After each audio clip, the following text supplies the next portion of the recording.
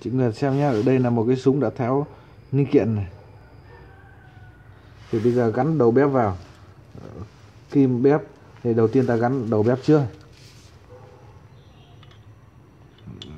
Xoáy nhẹ nhàng cái đầu bếp vào. Tiếp theo dùng cờ nê. Một là tốt nhất là dùng cái cờ nê ở quán cửa sửa xe ấy, cờ nê tròng thì sẽ không bao giờ bị trượt không bao giờ bị méo không nên dùng chữ C. Đây là chữ C nhưng là đấy là đồ cần nê chuyên dụng của hãng thì mình có thể dùng được. Đây là dùng cái này, cần nê 19 đây nó có chẳng hạn như ở cần nê nó sẽ có số là 19 này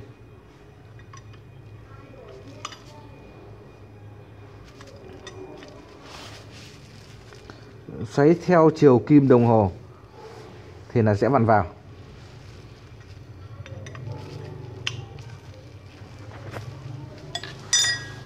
Đơn giản thế. Để cho khỏi ờ, hỏng đầu bếp ta xoáy luôn cái nắp chụp vào. Tiếp theo cái kim.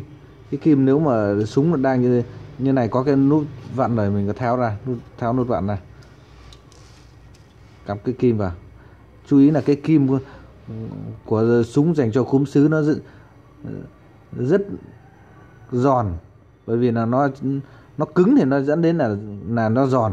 Giống như thủy tinh ấy càng cứng thì lại càng dễ giòn, càng dễ hỏng nên là mình không để rơi vỡ rơi vỡ nó dễ bị gãy. Đây.